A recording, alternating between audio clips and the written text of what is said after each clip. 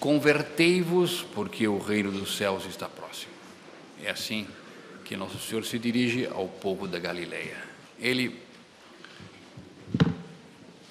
sai de Nazaré e vai viver em Cafarnaum, na Galileia.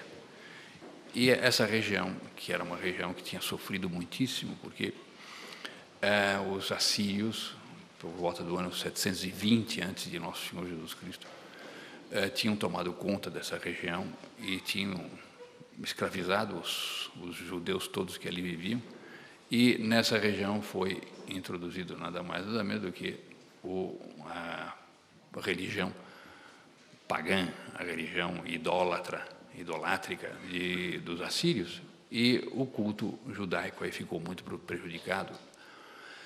E isso significa que saíram da luz e entraram nas trevas, porque quem sai da religião verdadeira e assimila, admite, abraça uma religião falsa, uma religião hum, não verdadeira, este sai da luz e entra nas trevas.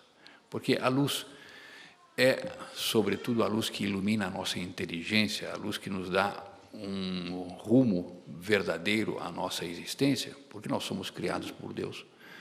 É, a criatura de, de, de, que sai das mãos de Deus depende de Deus e, sobretudo, a criatura inteligente, os anjos e os homens, depende dessa iluminação de Deus. Deus, criando a inteligência, dá aos anjos e dá aos homens a possibilidade de entenderem as coisas concretas, as coisas diretas, as coisas que estão debaixo dos sentidos do que diz respeito ao homem, no que diz respeito aos anjos, debaixo da intuição. Mas tudo aquilo que diz respeito à vida de Deus, tudo aquilo que diz respeito ao próprio Deus, portanto, sem um auxílio de Deus, a pessoa não vê. Quer seja anjo, quer seja homem. Para o homem e para o anjo verem algo a respeito de Deus, vislumbrarem algo a respeito de Deus, é preciso do auxílio de Deus, é preciso do auxílio dessa luz que vem de Deus, porque Deus é luz. E Deus, sendo luz, ele, quando se manifesta no interior do homem, no interior do anjo, ele facilita que o homem e o anjo compreendam quem ele é. Este começo de vida sobrenatural, esse começo de luz, se desenvolve, se desenvolve, e se a pessoa é fiel à graça, e se ela anda pelas vias da, dos mandamentos da lei de Deus, ela, em certo momento, passando desta vida para outra, verá a Deus face a face. Na luz de Deus, ela verá a Deus. Na tua luz veremos a luz. Ela amará a Deus como ele se ama, ela entenderá a Deus como ele se entende e aí então estará a plena luz. E estes povos que aí habitavam na região da Galileia, os de Naftali, os de Zabulon, dessas duas tribos, eram povos que viviam nas trevas, que viviam na escuridão da morte, como nós vemos na primeira leitura. Na primeira leitura, Isaías nos fala de uh, sombras da morte, viviam na sombra da morte. E o povo que andava na escuridão na escuridão, na sombra da morte, viu uma grande luz. Uma luz resplandeceu. Essa luz que resplandeceu para este povo era nada mais, nada menos do que a luz verdadeira de Deus verdadeiro. Luz de luz. É a verdadeira luz. Essa luz é nosso Senhor Jesus Cristo. Quando, no domingo de, de, de, da ressurreição, no domingo em que nós Hum, católicos, hum, celebramos a ressurreição de Nosso Senhor, há aquela cerimônia extraordinária, lindíssima, em que entra o sacerdote com um sírio pascal aceso e o coro todo canta Lumen Christi, a luz de Cristo. Essa é a verdadeira luz. A verdadeira luz é aquela luz que ilumina o nosso interior e nos faz entender as maravilhas todas do sobrenatural, as maravilhas todas da vida de Deus, etc. Essa, esse povo que andava numa escuridão via uma grande luz, vivia nas sombras da morte e para eles uma luz resplandeceu. O que traz essa luz quando ela penetra na alma? Essa luz, está dito aqui por Isaías, faz crescer a alegria. Faz crescer a alegria. Porque Quando nós ganhamos uma boa soma de dinheiro, uma loteria que seja, ou enfim, um prêmio ou um presente, nós temos alegria. Dizer que não se tem alegria quando se ganha uma boa soma é uma loucura. Ganha-se uma boa soma, tem-se uma alegria. Quando se ganha um bom presente, tem-se uma alegria. Quando se a família tem a alegria de, de, de é, ver o seu primeiro rebento nascendo, é um menino, será uma menina, é aquela alegria. Mas a alegria verdadeira, a alegria mais profunda é a alegria espiritual. Essa consolação que entra na alma de quem foi batizado, na alma de quem está na graça de Deus, na alma de quem tem a sua consciência tranquila. Essa é a alegria da entrada dessa luz. Alegria, felicidade.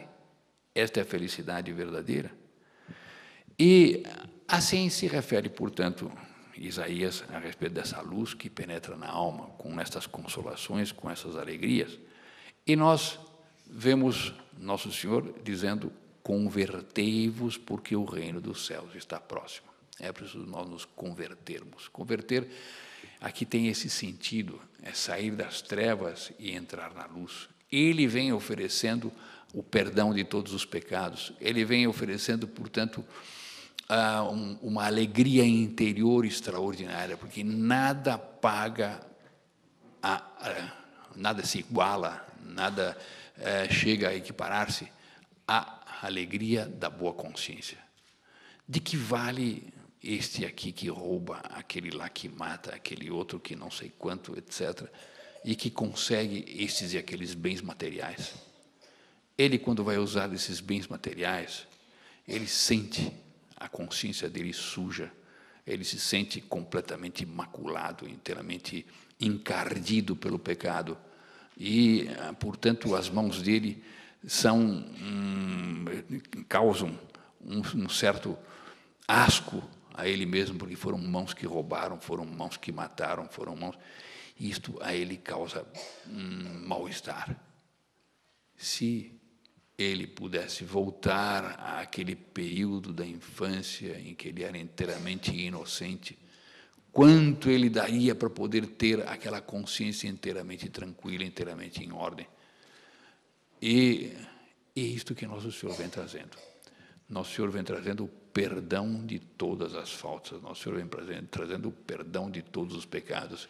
É o Cordeiro de Deus que tira o pecado do mundo. Aí está. E ele vem dizendo: convertei-vos. Convertei-vos. É, percam, é um conselho que ele dá, percam o apreço que tem pelo pecado. O pecado ilude, ele num primeiro momento dá a ideia de que a pessoa vai ter ser feliz naquela via, que a pessoa vai se, se sentir completamente tomada por, por uma, um gozo, por uma felicidade, e não é verdade. É mentira, porque o que vem depois disso é a frustração. E por isso ele diz: convertei-vos. O reino dos céus está próximo. Esse reino dos céus é esse reino da luz, porque no céu nós veremos Deus face a face. E vendo Deus face a face, teremos a alegria das alegrias. Para nós imaginarmos o que é a alegria do céu, nós devemos imaginar todas as nossas apetências interiores de felicidade perfeitamente atendidas, repletamente atendidas, inteiramente uh, saturadas de, de, de, de consolação. Exatamente o que se passará quando nós virmos a Deus face a face. Por quê? Porque nós fomos criados para Deus, e Santo Agostinho diz isso, que nosso coração não repousa enquanto não virmos a Deus. E Deus nos criou para que nós pudéssemos participar dessa vida dele. Qual é essa vida dele? A vida é o conhecer-se a si mesmo e amar-se a si mesmo inteirissimamente. Nele é tão rico esse conhecimento que é uma pessoa, que é a segunda pessoa da Santíssima Trindade, e o amor é tão rico que é uma terceira pessoa, que é o Espírito Santo, pois nós participaremos desta família, a família da Santíssima Trindade, na eternidade, neste convívio, nesta felicidade eterna. E é para isso que nós nascemos. E nós, quando buscamos a felicidade aqui, lá e acolá, o que nós queremos, no fundo, no fundo, é essa felicidade plena da inteira união com Deus, do inteiro embricamento, do inteiro uh, entrelaçamento nosso com Deus e esta vida divina em nós atingindo sua plenitude. Nós buscamos essa felicidade e essa felicidade se encontra na plenitude do perdão de todas as nossas faltas e numa acolhida extraordinária de Deus. Nós vemos Nosso Senhor dizendo: Convertei-vos, porque o reino dos céus está próximo.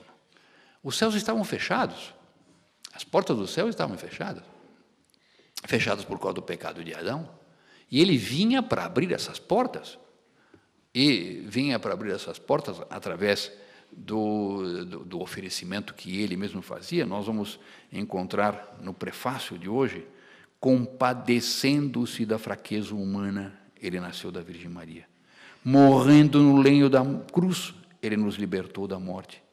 Ressuscitando dos mortos, ele nos garantiu a vida eterna. Ele se compadeceu de nós e veio para abrir as portas. E por isso que ele diz: Convertei-vos, porque o reino dos céus está próximo.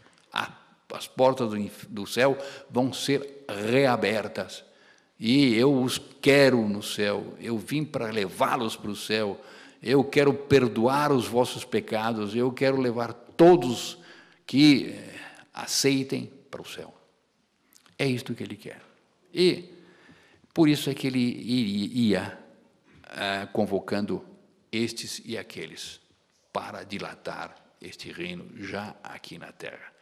Porque este reino dos céus nós compramos aqui e compramos através da fé, compramos através do cumprimento da lei, dos mandamentos, e quando falhamos nestes e naqueles mandamentos, temos à nossa disposição os sacramentos da igreja, para restabelecer em nós a verdadeira uh, alegria da boa consciência e da graça de Deus e voltarmos à luz.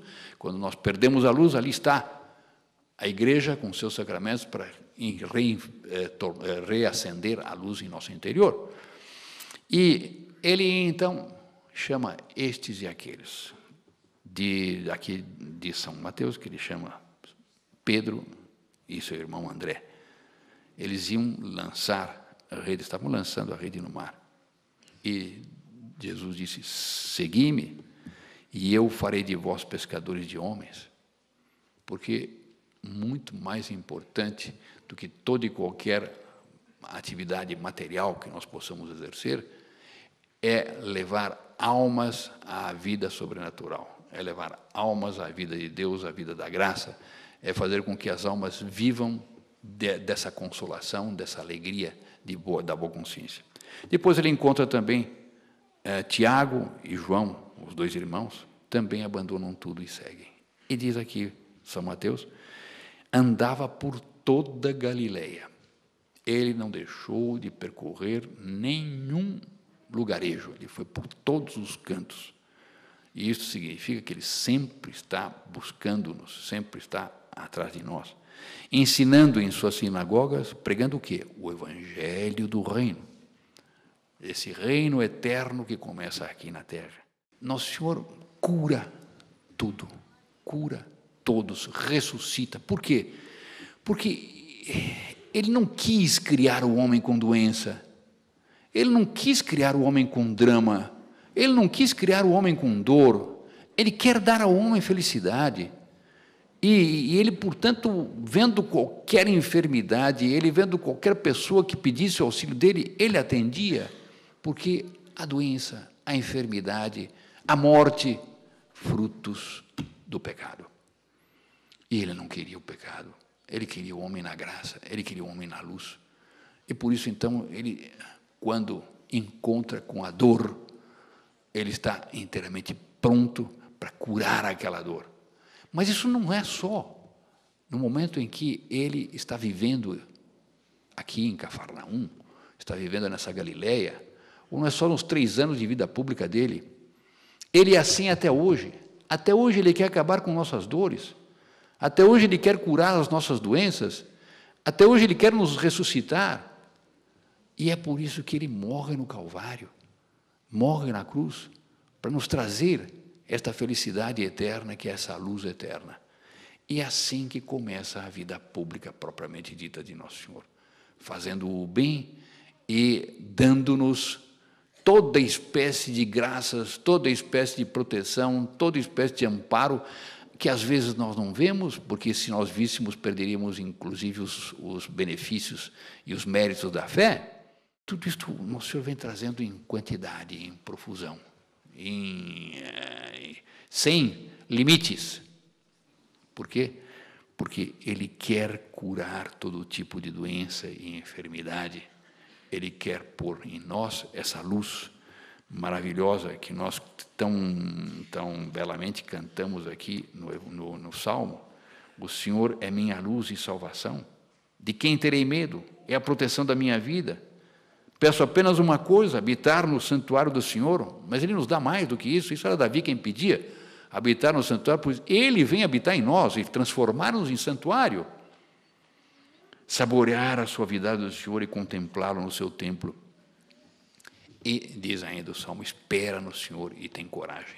E é isto que é preciso na nossa vida.